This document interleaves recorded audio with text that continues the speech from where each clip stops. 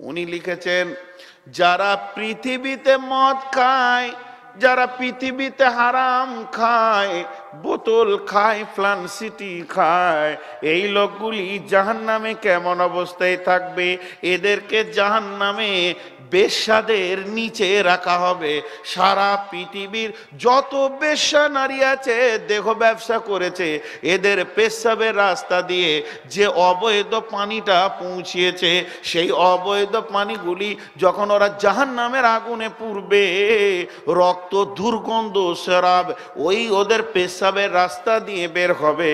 ওই বেশ্যা মেয়েদের আর ওই পেশাবের দুর্গন্ধ সারাবটা যারা পৃথিবীতে মদ পান করেছে আল্লাহ ওদেরকে জাহান নামে পান করাবে। জি মদে সমস্ত গোনা করা সম্ভব এটা তালবিসে ইবলিসের ঘটনা শোনাই।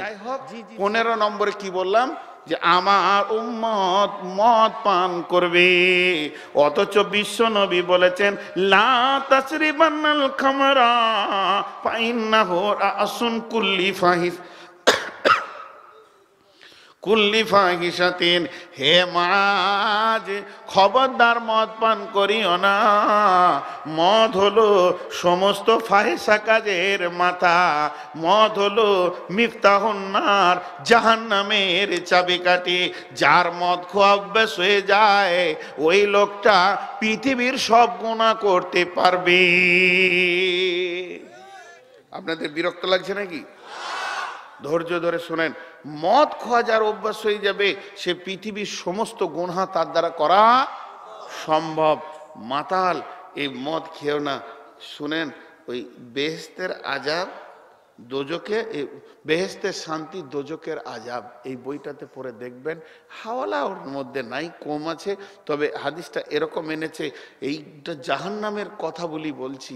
উনি লিখেছেন, যারা পৃথিবীতে মদ খায় যারা পৃথিবীতে হারাম খায়, বোতল খায় ফ্লানসিটি খায়, এই লোকগুলি জাহান নামে কেমন অবস্থায় থাকবে? এদেরকে জাহান নামে বেশ্যাদের নিচে রাখা হবে। সারা পৃথিবীর যত বেশ্যা নারী আছে, দেহ ব্যবসা করেছে, এদের পেশাবের রাস্তা দিয়ে যে অবৈধ পানিটা পৌঁছিয়েছে, সেই অবৈধ পানিগুলি যখন ওরা জাহান নামের আগুনে পুড়বে, রক্ত, দুর্গন্ধ সেরাব ওই ওদের পেশাবের রাস্তা দিয়ে বের হবে।